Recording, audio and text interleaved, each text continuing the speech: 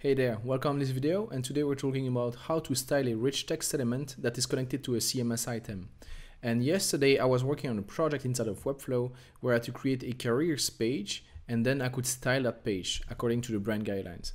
And so what I did was to drag a background, change a color to set it to dark, and then I dragged in a rich text element, bind it to the CMS, and then I started to try to style it. Unfortunately, I couldn't make it happen.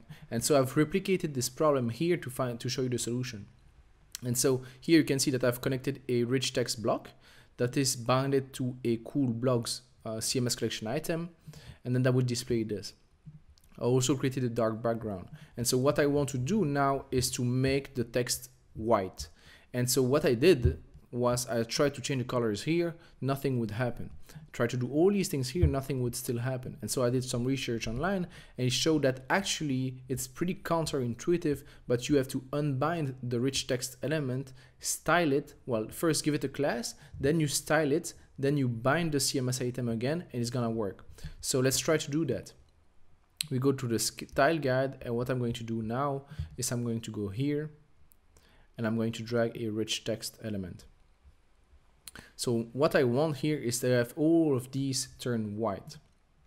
And so to do that, you have first to add a class. So let's add a class of rich text. And what I can do now is to start styling the elements inside of the rich text that has the class rich text. So let's select this H2 heading 2. And what I have to do now is to go here on the right hand side, select this, and actually it's called a selector so you cannot add actually a class. You can only select all the h2 headings inside the class inside the rich text class that you just created. And so let's try to do that. So I want this to be white. Great now it's working. I can actually change the colors. But actually there is a problem here. Because if I scroll back up this heading 2 that was dark is now white.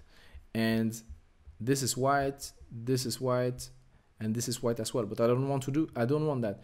And yesterday I was wrapping my head for like 20 minutes trying to figure this out until I actually found a solution. So let's jump straight into it. What you have to do is first turn this one to black. So it go there, select all H2 headings.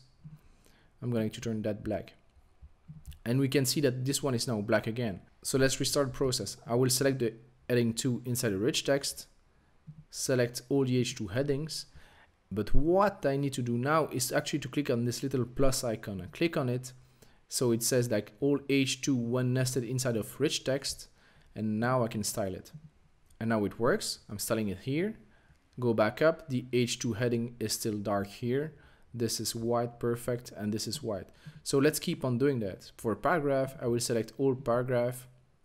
Click on this plus icon. Don't forget this plus icon and just give it a color of white. I can repeat this process just for this one. Select all H4s. Don't forget the plus icon. I was about again to forget it. Set it to white. And now everything is white. All of these are black. This is white. So now we can go back in into the CMS template and see it styled.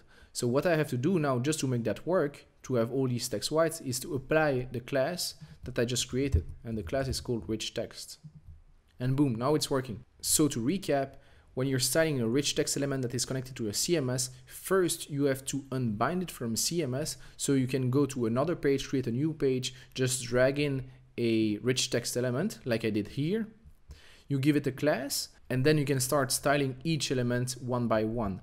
But don't forget, when you select one element, to always click the plus icon that's going to be on the right hand side. Otherwise, you're going to style all the elements that have that particular HTML tag inside the entire project, and you don't want to do that. So that's pretty much it for this video. If you found it helpful, please click the thumbs up button. And if you would like to see more Webflow tutorial, consider subscribing because I'm sharing new tutorials every single week. See you guys soon.